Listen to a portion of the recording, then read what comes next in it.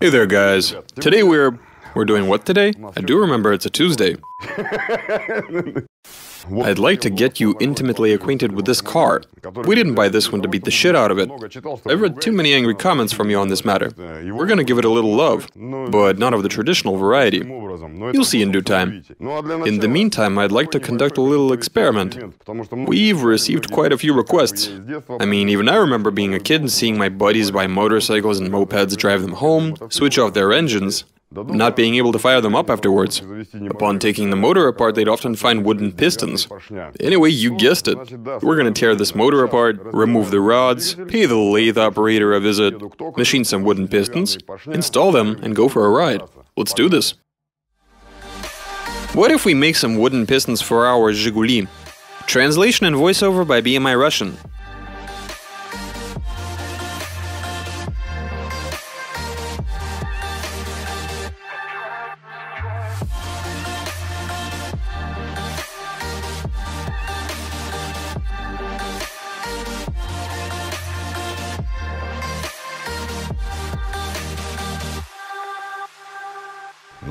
There we go. We've removed the aluminum pistons. Let's go fabricate some wooden ones. To do so, we've purchased a 10 by 10 centimeter piece of ash tree and put it on a lathe. We aligned the piece and proceeded to machine it down.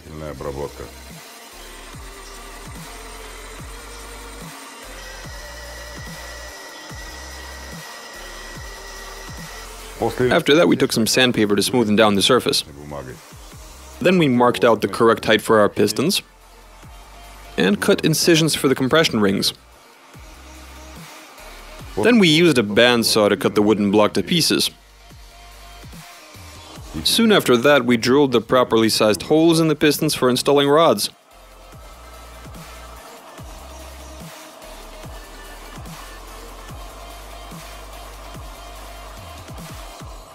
So yeah, guys, we finally finished fabricating our quality lightweight wooden pistons.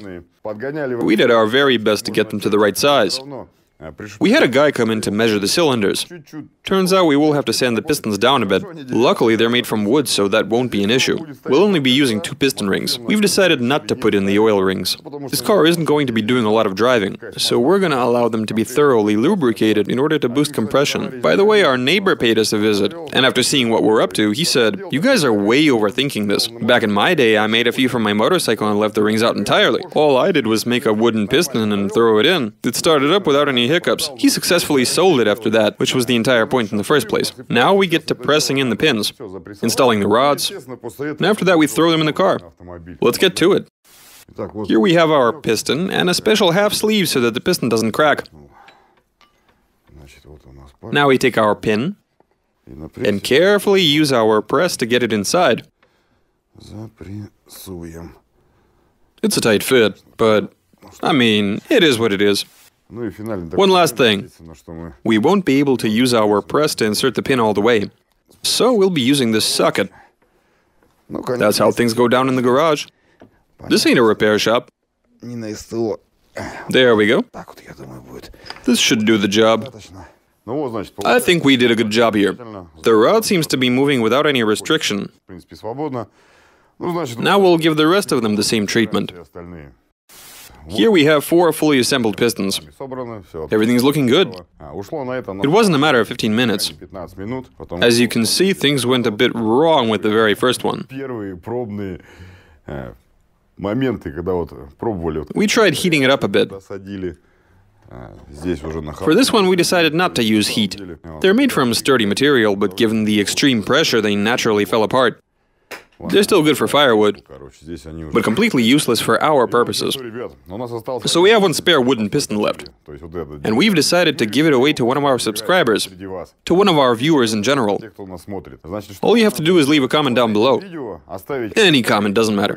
We'll pick a random winner using a special utility. After that, we'll contact you and send out this leftover piston. We'll be holding our giveaway on Saturday the 15th, on our second channel at 1 o'clock in the afternoon Moscow time.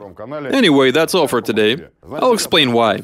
This exercise took a lot of effort. Obviously, it's compressed into 3 to 4 minutes for the video, but as a matter of fact, we've been at it for a full week, and there's still the matter of putting everything together, firing it up, showing you the results, going for a little ride, as well as evaluating the aftermath. So yeah, subscribe, leave some comments, give us a thumbs up, and see you later.